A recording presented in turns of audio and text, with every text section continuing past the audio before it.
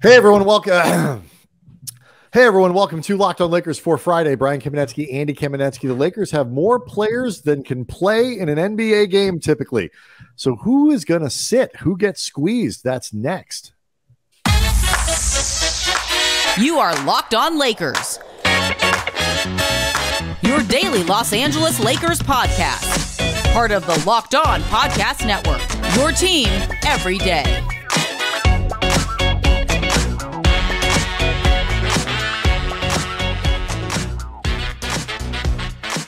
Thanks to everybody for making Locked On Lakers your first listen of every day, Monday through Friday, no matter how or where you get your podcast. It's always free. It's never going to be behind a paywall. And Locked On Lakers on YouTube is where you can go to hang out with over 20,000 subscribers to the channel. Um, getting real, real excited, Andy, for the start of the season. Now the Lakers roster is locked in. Uh, we're going to talk about where they kind of stack up now in the West, now that they do have – uh, a set roster. Uh, that that slot has been filled with a potentially impactful player in Christian Wood. Uh, do want to let people know that this episode is brought to you by FanDuel Sportsbook, the official sportsbook of Locked On. Make every moment more. Right now, new customers can bet $5 and get 200 in bonus bets guaranteed. Visit fanduel.com slash locked on to get started. $5 to get 200 that's like an austin Reaves contract type value uh, right there. So you know take advantage of that. Um to me andy the thing about bismack biyombo for example is a potential option the lakers could have signed like he would have played he would have been important he would have had a role on the team but i'm not 100% sure his impact on the rotation on a game to game basis would have been super pro. There would have been days that you didn't see him where they didn't use Biyombo or they didn't need him. This way, I, th- I, I think. Um, I wouldn't have objected to the signing. I think it would have been a good one. But Wood to me is a different deal because you bring him in, he's going to play and he's going to play, assuming things don't go off the rails, he's going to play every game and he's going to play real minutes. He's too good not to. Right. 18 to 25 or something, you know, 17 to 25 minutes, depending on the matchup, and obviously more on those days where AD doesn't play. His impact, it is hard to think of a guy they could have signed who would impact the rotation more than Wood. And they have more players now um, that are legitimate NBA rotation players than can play in a typical NBA game, assuming everybody's healthy. Yeah. I mean, this is going to be Darvin Ham, I think his first test as a coach. Like, I, I don't know how much he ever played, you know, inter intermediary, you know, that sort of thing uh, on rosters in Milwaukee or Atlanta where he was an assistant. You know, some sometimes assistant and assistants end up buffers that way and confidants for different players. You know, when you you don't feel like going to the head coach about something or you know you don't necessarily have a great relationship with the head coach. You know you often end up talking with the assistants about this stuff. They smooth things over. But this is going to be his first test as the head guy if nothing else of somebody's not going to play. They're not going to like it. It is a good problem to have globally. It is a tough problem to have on a micro level and you're going to have to explain this in ways that may not keep everybody happy, mm-hmm. but you need to keep everybody on the same page and not griping. It will help if they're winning. Oh, a lot. They're yeah. If they're winning, nobody has a right to say a damn thing. But every season has adversity of some kind. And when that adversity takes place, that's often when the chirping also can follow. And Darvin's going to have to negotiate you know the wants and needs and you know all that stuff of a lot of guys who will rightly feel like I am an NBA rotation player. I should be playing. And I, I, we don't even need to. We are way too far away to get into the, you know, what does Wood mean for the playoffs? And this like the playoff rotation, all this kind of stuff. Like, yes, could Christian Wood be a, a difficult, a more challenging guy to get fine minutes for in the playoffs? Yes, you know, so is Jarred Vanderbilt, so is D'Angelo Russell sometimes. So it's like that is months away. I'm just talking about the regular season. I know you are too. Like the the most regular season games, coaches will go nine to ten deep. Um, if you know if you have that that kind of guy available. Nine is a is a normal number. Sometimes they'll go to ten. It's hard to play more than ten guys in a game any kind of meaningful minutes. And so you look at what the Lakers have in terms of guys who are going to play or could say like you you do Andy, uh, I deserve to play. D'Angelo, Vanderbilt, Vincent, AD, um, Christie. LeBron. I think they count on him. I'm just going through the. I'm literally rolling down the roster. Prince, Reaves, um, LeBron, Rui, uh, Christian Wood, and you know you're you're at ten already. Um, that you're already talking about like one of those guys may not may not play. And when you start to think, you know, break down how the Lakers can sort out a really crowded. Remember when the Lakers didn't have enough bigs? Mm-hmm. Remember that? Remember or enough wings? Or enough wings? You know, not a problem anymore. When, I mean, when I, who do you? How, what is your initial read of who gets squeezed? Whether that's they play bigger and squeeze people further, like the the guards, maybe in some way, shape, or form, or do you think it's more? Vanderbilt, Rui's minutes. What what what how what was your initial read? Well, I mean, the, the first thing that popped to mind, and this is the most utopian version of an outcome and a solution to this, is you find ways to use this depth to where you can reduce LeBron and AD's minutes. Sure. And, you know, try to come up with a rotation that is in part with the goal of getting those guys three to four minutes fewer each game if possible. I mean, not counting games where hopefully you you blow teams out or control a game enough that the last five to six minutes, three to four minutes are totally in hand. Those guys can sit anyway. But I'm just talking about their regular rotation minutes. You try to use this type of depth, you know, whether you're talking about the scoring that you just added with Christian Wood or the guys in Reaves or D'Lo or Rui who can all create their own shots for themselves beyond what they can do for everyone else. Like, try to find ways to reduce the minutes, which will in turn offer a few more minutes to divvy up for everybody else, maybe keep everybody happy while that larger goal of keeping LeBron and AD fresh. Beyond that, you know, I, we're going to discuss him later on more specifically um, in terms of that extension that he is eligible for beginning yesterday. But Jarred Vanderbilt was the first guy that popped to mind for me because, you know, I talked before about wanting to see Vanderbilt in like a 15 minute a night, 18 minute a night starting role uh-huh. because I, I think there's a lot of defensive optionality that comes from playing him in the first five. And also, I think, particularly now that Christian Wood's here, the areas to play him in the second unit, assuming the other guys you have penciled into play actually do. And, you know, LeBron, AD, those guys are going to play at times with sure bench guys. I start feeling like if you don't start Jarred Vanderbilt, there's a very good chance he may not have a place to play in this rotation. So he was the first guy that actually popped to mind for me. Yeah. Either like he starts or he may not play. And you know, I think because we're still going, we're going to see the Lakers go big. Like, I mean, they, have got too much size now and too much like mobile size to not leverage that. Dude, they're a big team now. You know, they are big. In those moments where Wood and AD play together with LeBron or whatever, you know, that just, you just, whether all these guys are together or not, just the starting, the presumed starting lineup, let's just put Rui in it just for fun or not, put Vanderbilt in it, who's certainly got a little bit of length to him and a little bit of bounce. Um, you know, D'Angelo Russell is a very big guard. Um, and, you know, you're starting him next to Reaves, who is not little, you know, he's not, you know, undersized by any stretch. And you have LeBron James, who is a bulky human being to say the least. And Anthony Davis and Rui is enormous. I mean, like there's particularly if he's your three, right? There's a lot of that uh, on this roster in terms of just long and large humans, and you know that is something to look forward to. It's something you know Max Christie's got a lot of length, if not the bulk yet, but length. Um, Put on ten to fifteen pounds. It's and not the way I do it. no, I mean Christie. All joking yeah. aside, Christie looked stronger and thicker. Absolutely, absolutely. But he's still not. You know, he's still 20 years old. I mean, so um, you know, you wouldn't expect him to be fully grown in that way.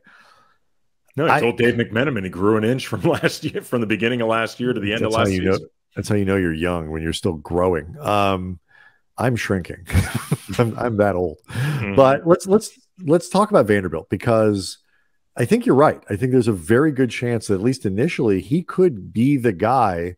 He's going to play because you know Davis is going to play every game and guys are going to get hurt and all that.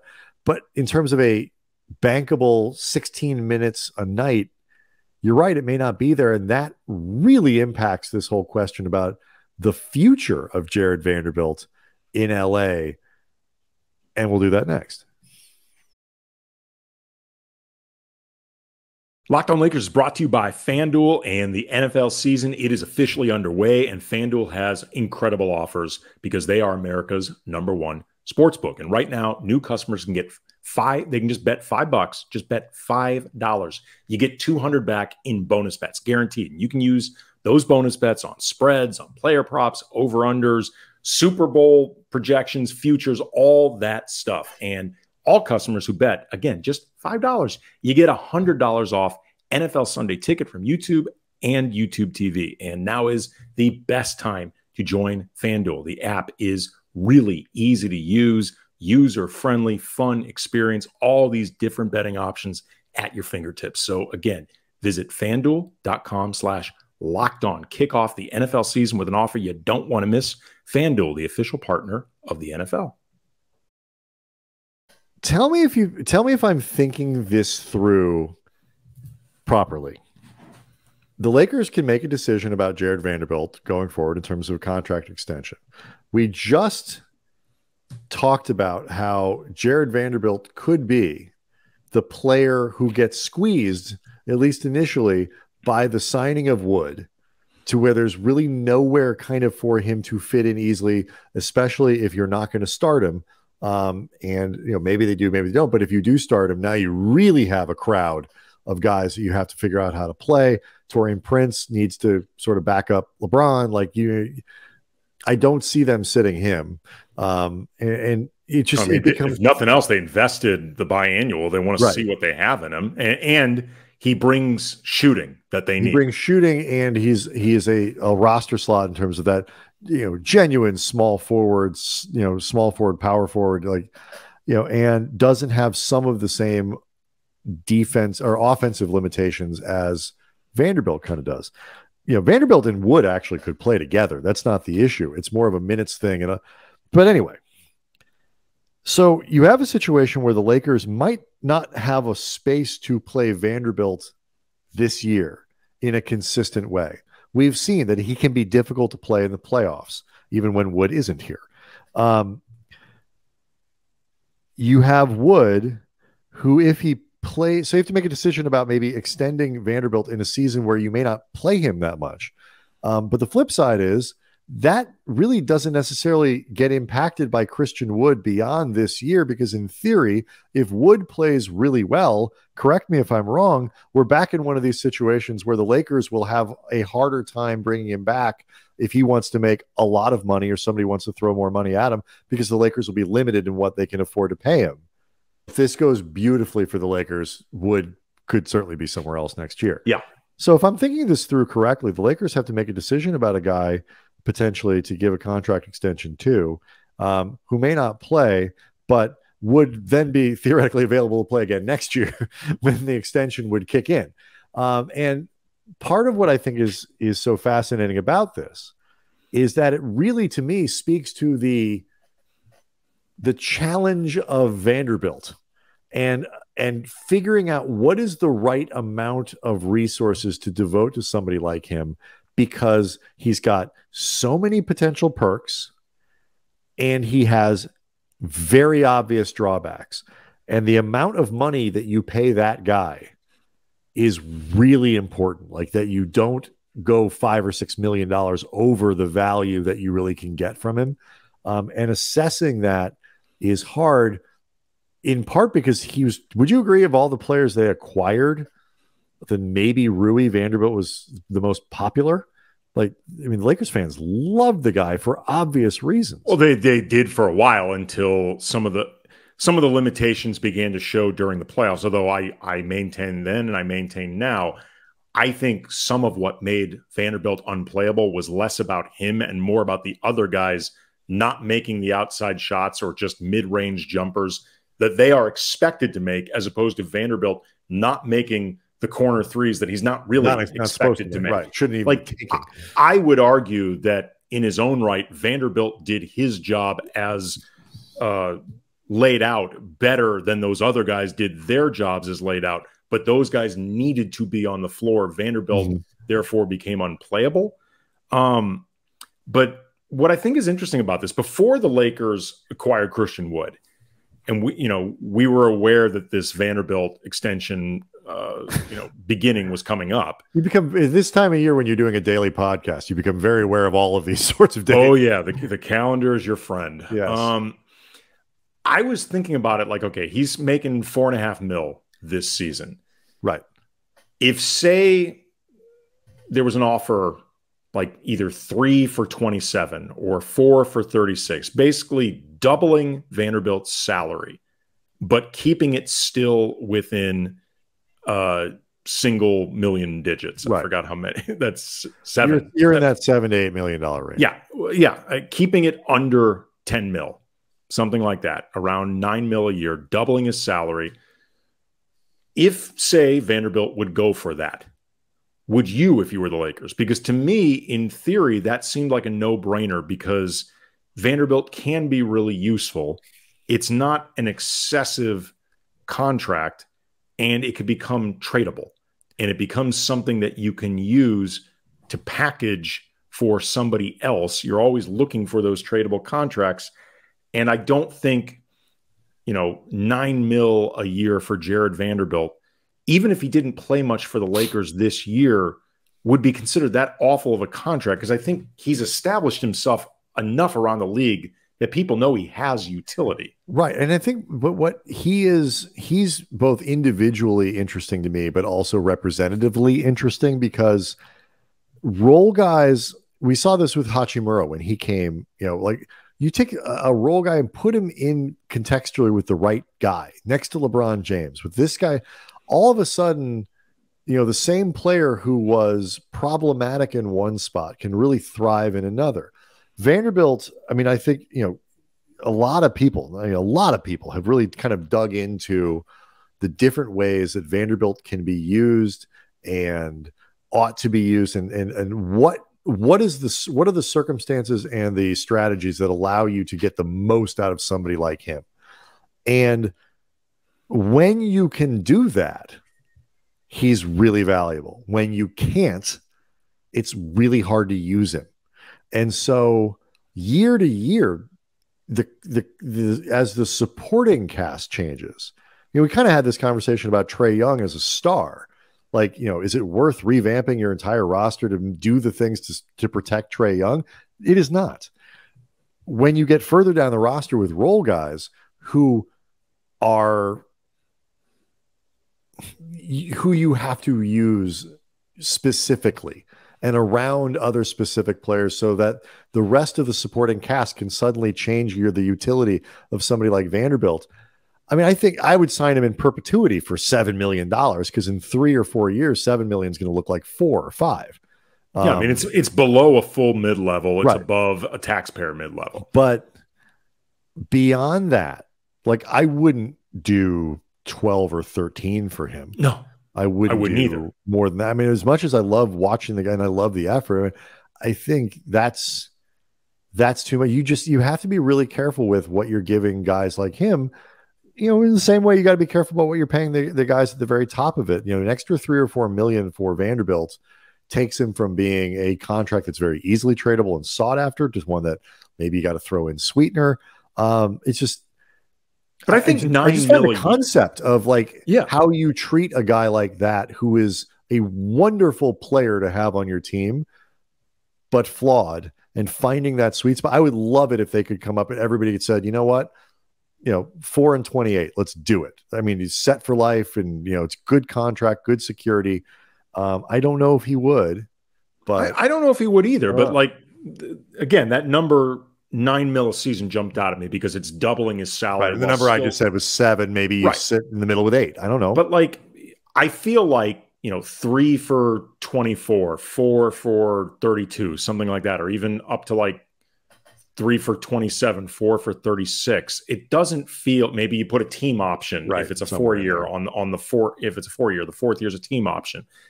That to me doesn't feel prohibitive for what the Lakers would want to do with Jarred Vanderbilt, either as a Laker or as somebody that they would look to move, you know, to bring in somebody different. Right. But it just the question of whether or not it becomes trickier if he plays a lot or doesn't? The answer, to be honest, is I'm not sure. It matter. I don't. But it's just it's, it's, that's what that's what occurred to me today when I was thinking about it because I knew we'd be talking about it.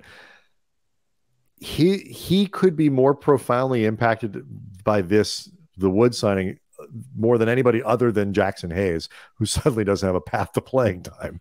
Um, and that doesn't necessarily impact the thinking for the Lakers for you know the next three years. If, if they have any, might it might not, but it doesn't. It doesn't have to. No, I, I agree. Was my point.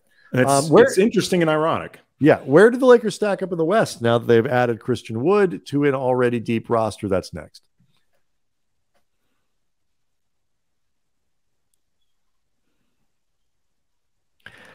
I think it's fair to say Christian Wood does not take an average team and turn them into a contender. And I don't think anybody is uh, claiming that. I mean, if that were the case, he would have been to the playoffs by now. Yes. well, you know, then he would have taken a bad team and made them average, I suppose. And if we're trying to be fair.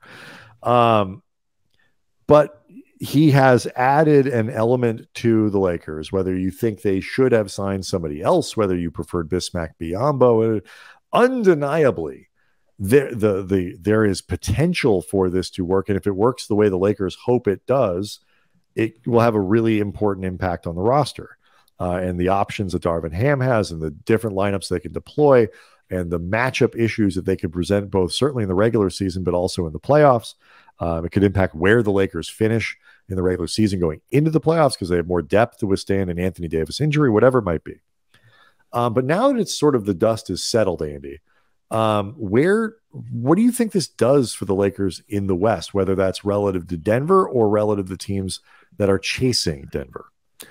I mean, look, they they already were a team that you and I both thought are legitimate contenders. You know, I I wouldn't go so far as to call them the front runner necessarily, and I I mean, I don't even know how much that matters, but they were absolutely in the upper echelon of the mix. They are a team that got to the Western Conference finals last year in a way that did not feel fluky at all. I mean, if anything, they had to beat odds to make it happen. For sure. It was impossible for them to back into the play in.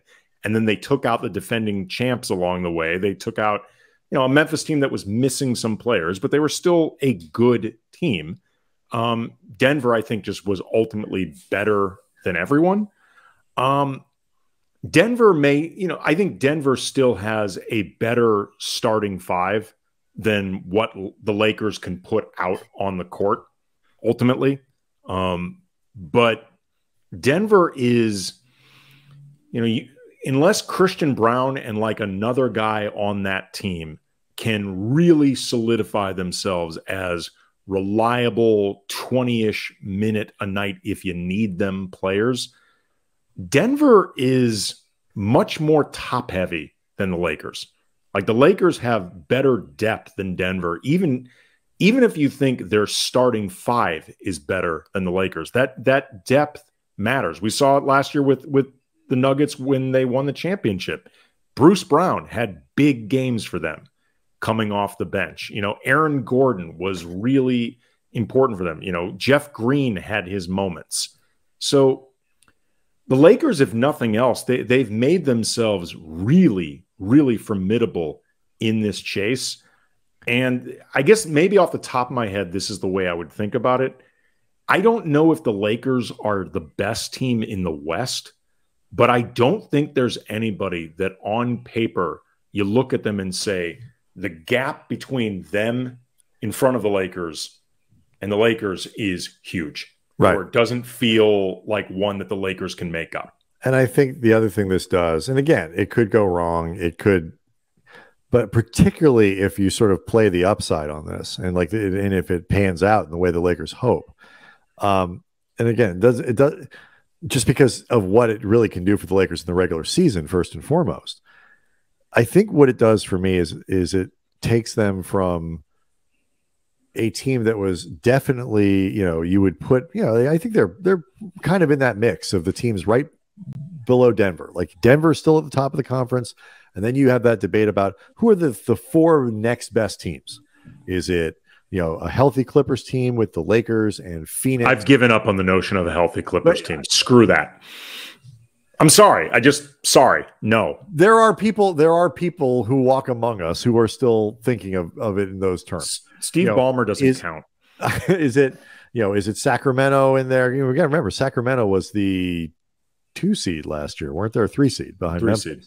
You know, like is it Sacramento? Is it like who are the next four teams? And you know, maybe you leave the Lakers out of that. Maybe you have the Lakers near the bottom. I think now when you make that second tier of teams, the ones that are the the the most likely contenders after the Nuggets, if you give them the the benefit of the doubt and the credit that I think they're due. I think you should. I agree.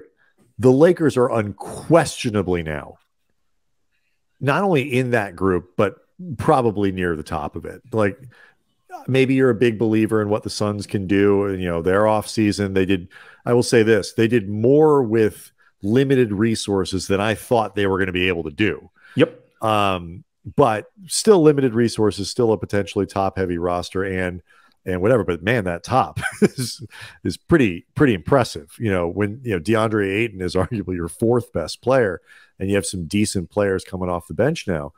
That's a thing. That's a real thing. Yeah. Um, I think um, Memphis, even during this period where they're not going to have Ja, I think Memphis is still going to be good. Marcus like Smart's going to do a lot of good for yep. them. Yes, he will. And so, you know, I, I, there are some good teams in the West, but the Lakers, it wasn't a, it, to me, it wasn't a, an automatic and a no brainer that, okay, yeah, the four among the four next best teams, of course the Lakers are in there. Well, no, not if you believe in what the Kings did, not if you believe in you know Phoenix, and not if you believe in Memphis, and not if you. I, I, I would have put him in there, but somebody could have the debate. Now I think you cannot possibly leave them out. I mean, I I can't I can't really think of that many. I'm I'm trying to think of the teams that you actually.